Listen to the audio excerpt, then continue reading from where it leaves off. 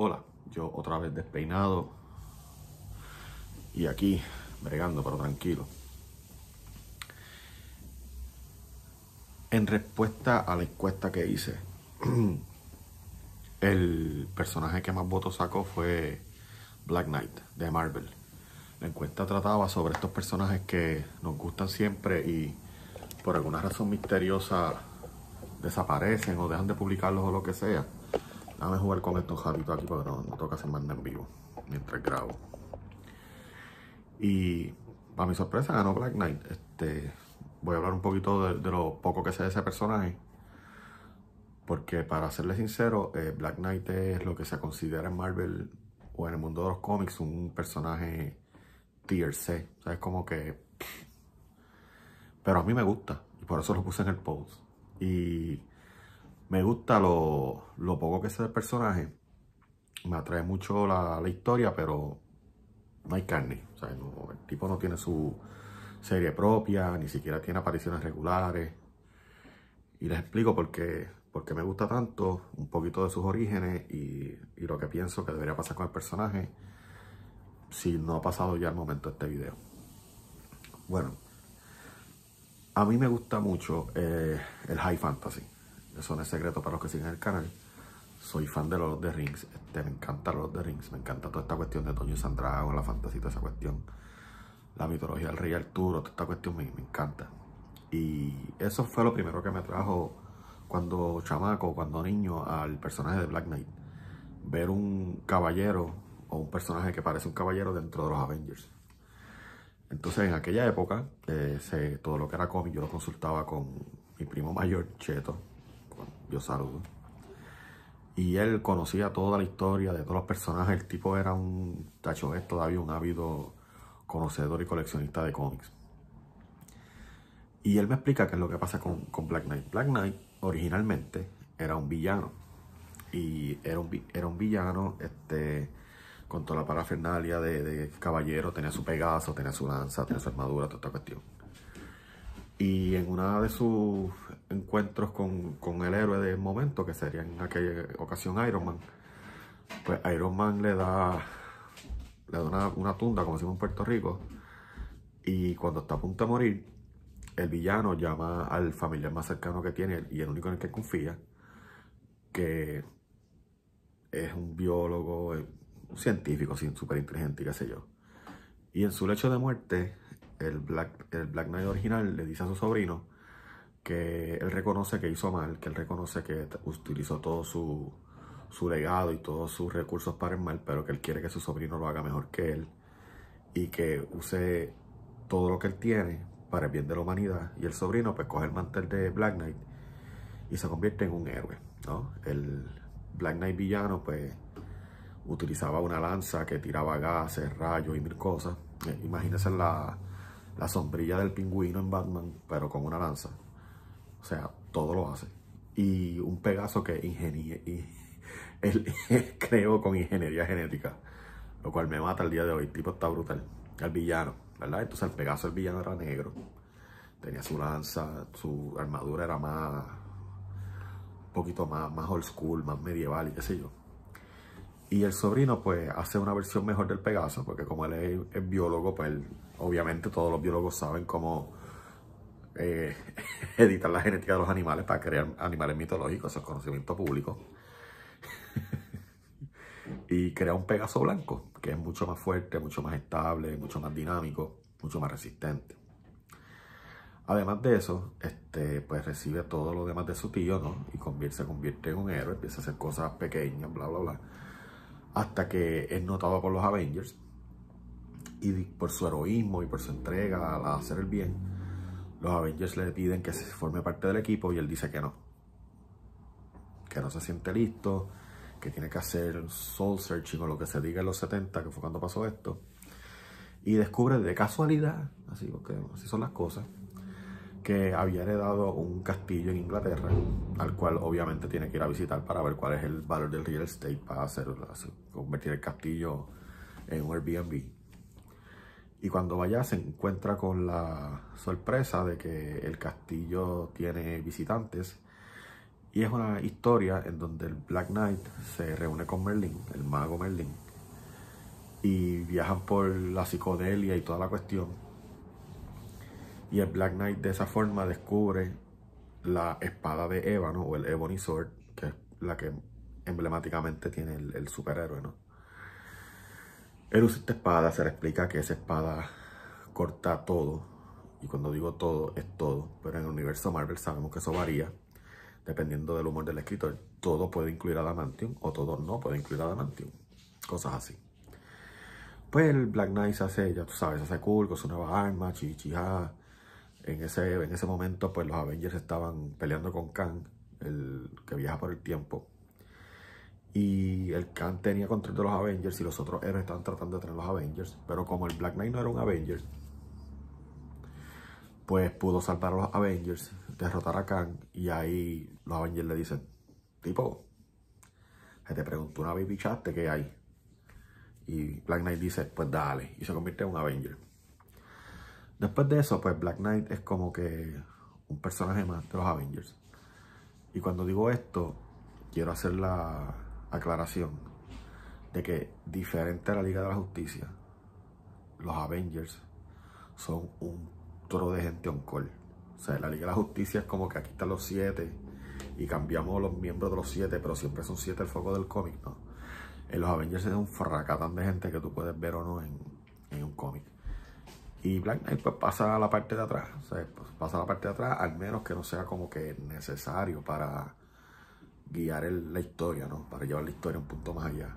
Como por ejemplo su muerte cuando Enchantress eh, derrota a los Avengers y mata a Black Knight convirtiéndolo en piedra, lo que realmente resulta ser que convierte su cuerpo en piedra, pero su alma viajó al pasado, al siglo XII específicamente se apoderó a uno de sus ancestros y los Avengers, por cuestiones de Marvelística, sabían esto y viajan al pasado a recuperar a sus amigos y los regresan al presente. Entonces, luego de eso, vuelve otra vez al oscurantismo hasta que se nos da la oportunidad de revisitar los romances de Marvel y Black Knight es envuelto, está envuelto en un romance con una inmortal que ahora mismo no me acuerdo cuál es el nombre, pero se enamora de ese inmortal, tiene una relación hasta el día de hoy, y de hecho le da su único superpoder a esa relación. Cuando los Eternals se casan, eh, ellos comparten un link psíquico. Y ese link psíquico le da a Black Knight el poder de ver a través de las ilusiones mágicas. O sea que cada vez que hay una ilusión mágica, el único que puede ver la verdad es el Avenger que no tiene poderes para estar claro. Y además de eso, pues se descubre durante el transcurso de, ese romance, historia, bla, bla, bla, que la espada de ébano realmente es un arma maldita con lo que se llama la maldición de la sangre o the curse of blood, en donde cada vez que la espada de ébano derrama sangre, la mente de quien la porta va un poquito más, un paso más adelante hacia la locura, lo cual está cool. Y es un plot device nítido para cualquier escritor escribir eso de una forma fina. Pero volvemos a rezagar, a rezagar al Black Knight, lo dejamos atrás otra vez.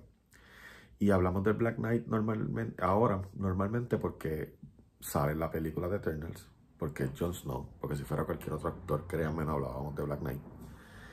Y la película de Eternals, pues el papel de Black Knight lo considero igual de background, tú sabes, algo como que wow, que, se jugó el show Black Knight. Y lo considero un poquito injusto.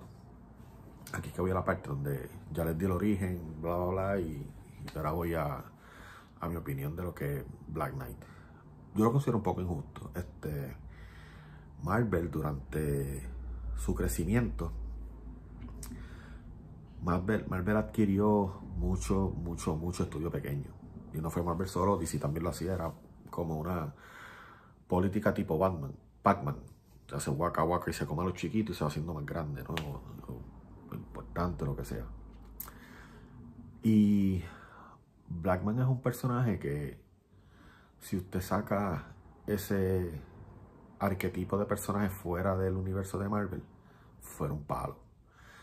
Ese personaje escrito por una persona enfocada en progresar el personaje, sería un palo. Es de esos personajes que están en la parte de atrás y como yo dije en el poll, nos enamoramos nos enamoramos de, nos enamoramos de ellos y, desaparecen.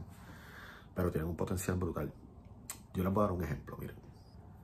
Ahora mismo, en este verano, en el momento de este video, se está culminando o culminó el crossover de Blood Hunters o Blood Hunt, que es eh, un especial donde Marvel, básicamente los héroes de Marvel compiten con los eh, pelean con los vampiros y qué sé yo.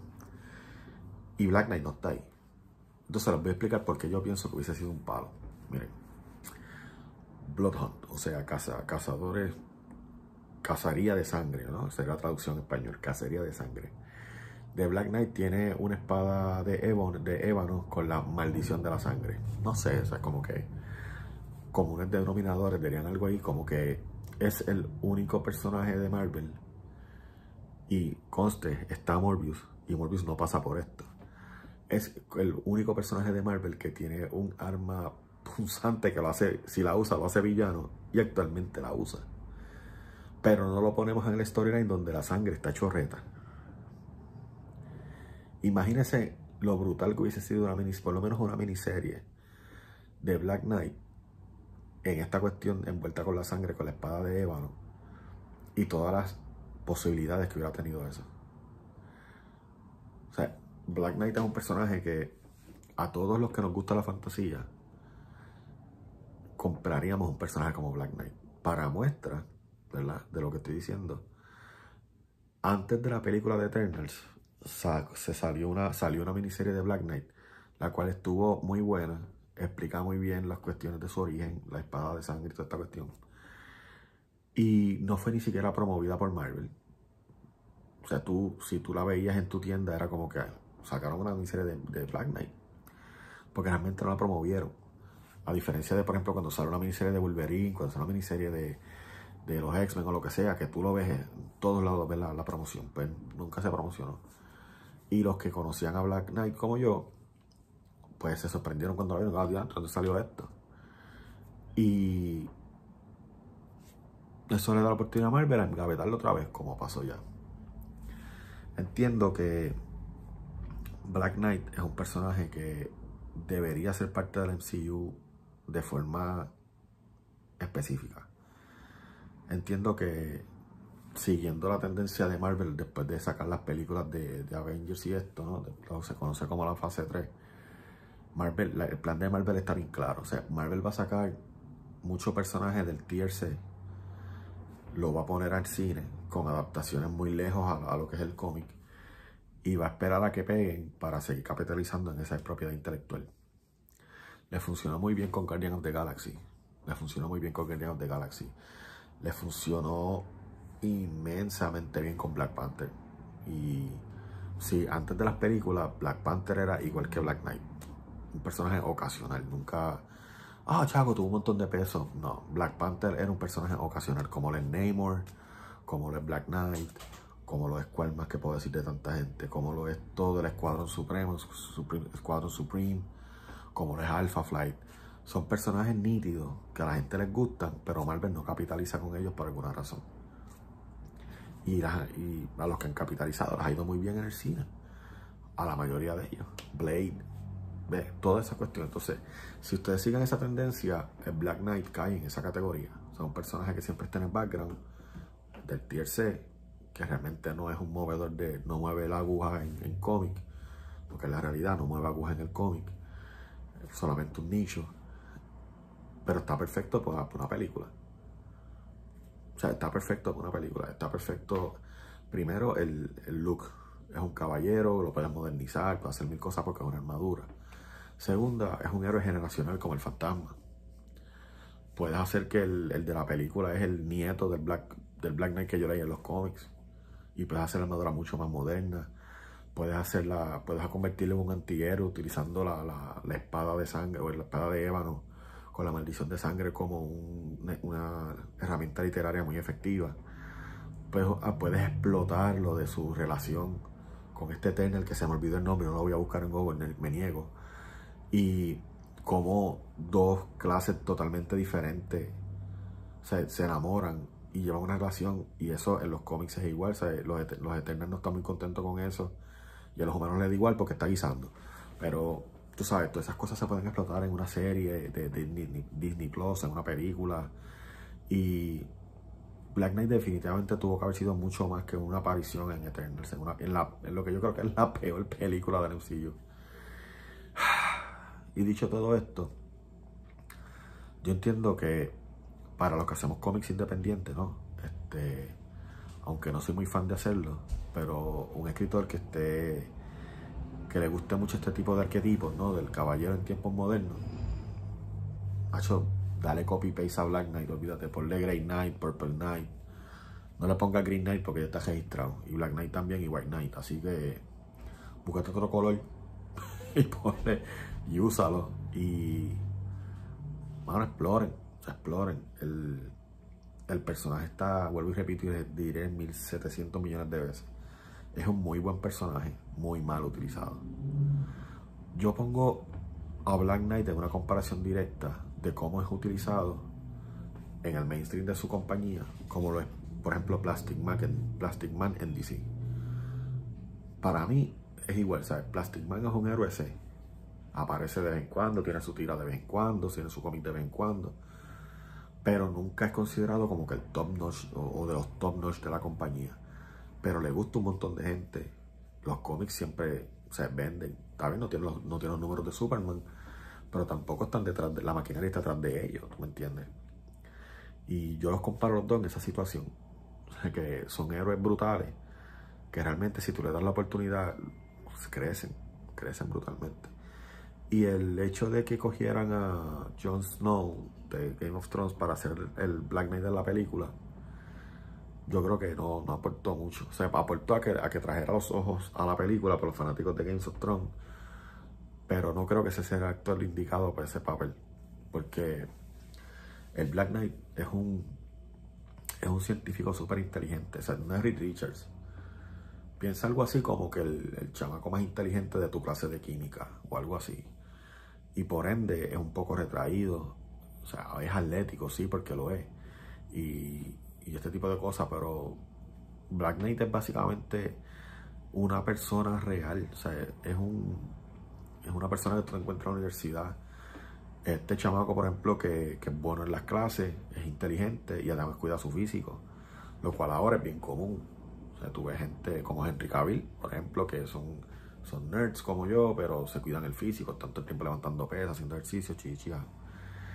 Y para mí, el, actor que debió tener ese papel de, Black Knight no tuvo que haber sido él, fíjate. Yo entiendo que en una película de, de Black Knight, ¿quién podría ser un Black Knight? Bueno. Y que no sea muy caro, porque si no, no hacer la película tampoco. Ha hecho buena pregunta. ¿A quién yo pondría? Déjalo, sí, mira, que es buena pregunta porque realmente para que dé el palo tiene que ser un actor conocido, sí, pero no una mega estrella. Por ejemplo, Robert Downey Jr. cuando cogió Iron Man era famoso, sí, pero ya, ya estaba como que apagado. Y con Iron Man hizo ¡fum! Tú sabes. Y debería ser un actor así, o sea, alguien que esté medio meh pero bueno. Y que, pueda dar este, este, look como de tipo inteligente. O sea, que, que meta